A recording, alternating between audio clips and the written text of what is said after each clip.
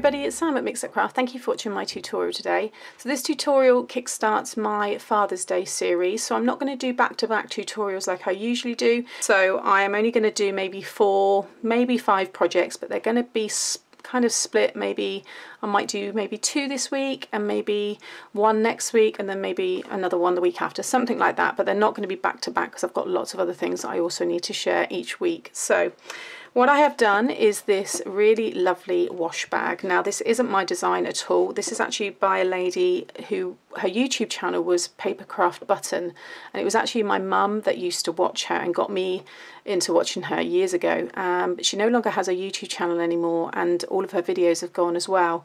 And that's actually the same thing that Intertwined Design she mentions at the beginning of hers because she's also done this. Hers is a slightly slightly bigger. She's using A4, whereas I've done in between A4 and in between letter size, just so that I, I just want more people to be able to use their normal size card rather than cutting into 12 by 12. It's a lovely design, it's really fun, and the nice thing about this is when you open it up, it holds very nicely. This has been drunk. I kept the bottle just to prove. This is just a little bottle of wine. So but there are you know many miniature bottles. You could put some lovely miniature whiskies in here or any kind of spirit really. But also you can pop other gifts in here as well. It doesn't have to be alcohol based this could be filled with sweets you know? There's there's lots of things you can do with this but you can see that it fits in there really nicely. This all folds down and then it's kind of a self-closing but it does need a bit of help. On the side of all of your tabs are little velcro dots. And then I finished mine off. This is a paper pack by First Edition. This is the Grand Plans.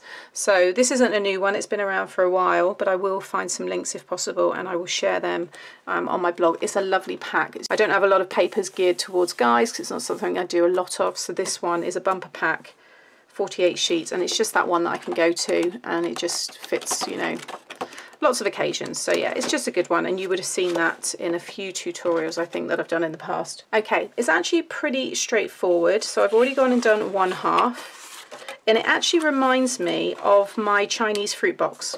So if you've done that and you've enjoyed that box then you'll really like this one as well. So that is the one that I've already done because you will need two of exactly the same. And then just some paper to mat and then or to decorate even and then I've got that same sentiment again and some velcro dots and these little bits for my tab. Okay, so you want two pieces that are 11 by 8 and a quarter. So if you are in the States or outside of the UK, yours will be 8 and a half by 11. You just need to bring yours into 8 and a quarter. And for us in the UK, ours is already 8 and a quarter wide. You will just need to bring down your A4 down to 11 inches. That way I just thought everybody can use their standard size cardstock. So along the 11 inch side you want to score at half an inch, three and three and a half inches.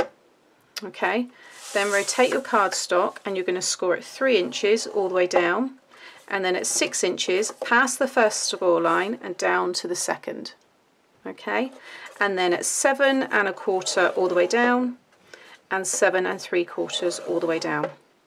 Then rotate your cardstock back again and you want to score at two past the first score line and down to the second and that's just a marker really that score line okay? And you want to do that twice. Okay so now you want to go and burnish all of your score lines.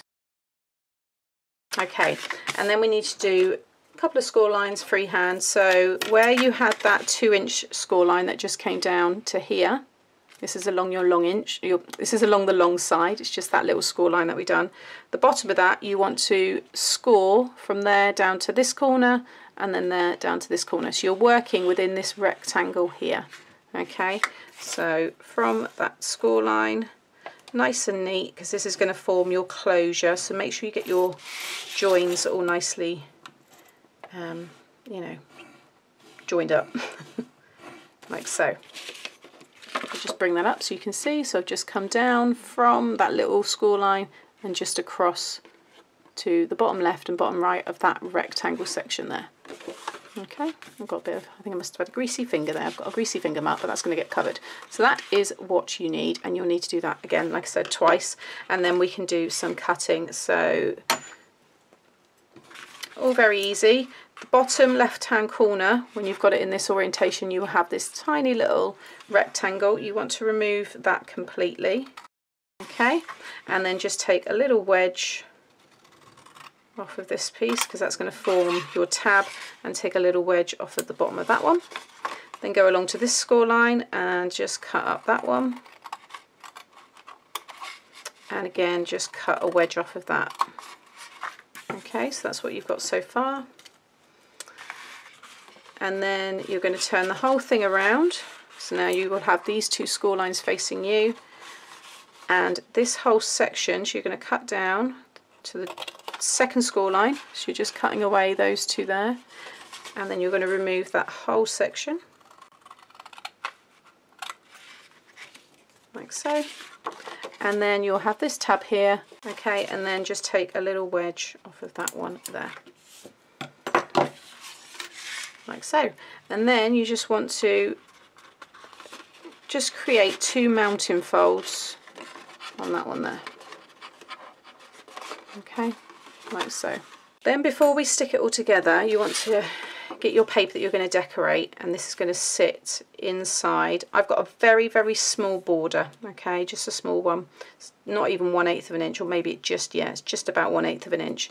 This piece here measures four and a half by seven and three eighths of an inch okay? And that is going to stick in there and it is going to overhang up there because when we fold this tab down it will cover it and you'll get a really nice finish. So I'm going to stick this one down. Like so. And then the very top half an inch tab I'm just going to add some glue and fold that one down. And just get your bone folder and just kind of make sure everything is stuck down nicely. Okay, so you will now have two of these. So here's one I made earlier and I'm going to stick this tab to this side here. Focus on your bottom score line, your base score line, get that one all lined up. Okay, and it should just finish just below that, that half an inch tab there. So again, I'm going to add my glue and just sit that one over the top. So you'll see what I mean about it feeling like the fruit box that I made and I'll link that one in up here as well because anybody new to the channel that one was done quite a while ago now. Um, again very popular so you might want to check that one out. Okay. Then fold the whole thing over. Fold this over and it should meet up perfectly with that one. So again, you just want to add some glue and just let that all lie down. And then I've got my, choose what you want to have as your front or your back and you want to stick it down. I mean you can do it when it's all put together if you want but I like to just stick it down while it's flat. In fact no, I'm going to do it when it's all together because I'm just going to add some foam adhesive to that. So I'm just going to leave it as it is. But now you should have this. So turn it upside down so you've got your base. And I always like to put down one side and then the tabs and then that side. That way you get, obviously, your the bottom's nice, but inside you don't see any of your tabs. So decide what you want to be your front or your back. I really don't mind in this case. So this is going to be the back. So this goes down first. I'm just going to run some glue just in there, pop each tab down, pop some more glue on each of those, and then stick that all down. Turn it over, and with my ruler I'm just going to go in there, just make sure it's all flat.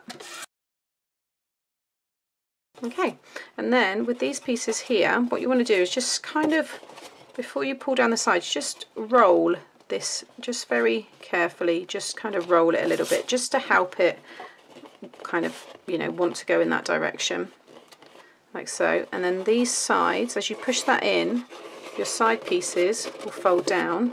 And like I said, it is kind of a self-locking. It, it can hold itself there if there wasn't so much of this card kind of wanting to still pop back out. But you can see now how you get that. But I like this effect because that's what a wash bag looks like. So you want it to, to have that kind of pop to it anyway because that's what gives it its look.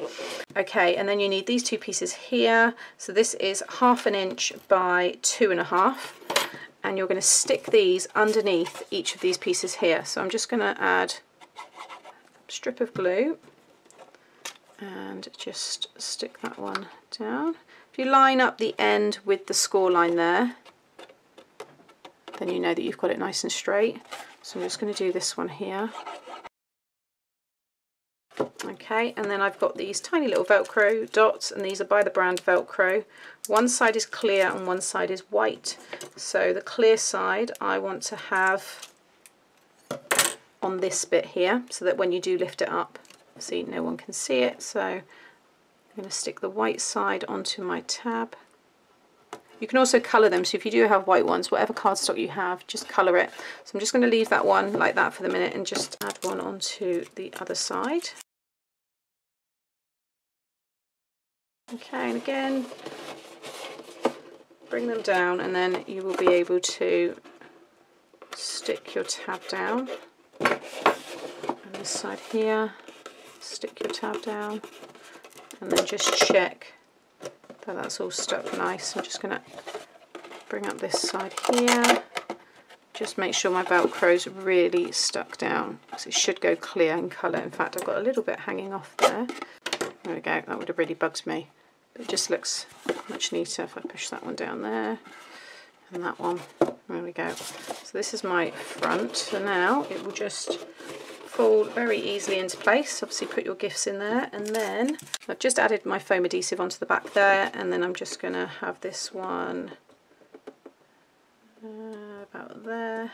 So there you have it. That's my version of the men's wash bag, gift bag. I think it's brilliant. I love that it fits a bottle of wine in there and um, you can you know fit some nice aftershave inside. You can put you know three nice pairs of socks in there. It's great. So this is gonna be a good one for Christmas birthdays anything really. I think it's really fun. And of course this can be made in you know more feminine colors as well. There's no reason why this can't be uh, you know a, a girl's design um, but I think it works really well for the guys. So there you have it. I hope you like the first tutorial for my Father's Day series.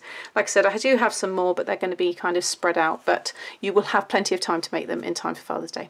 So that's all from me today guys. I'll be back again soon with another tutorial. Give me a thumbs up if you enjoyed and subscribe to see more. Thanks for watching. Bye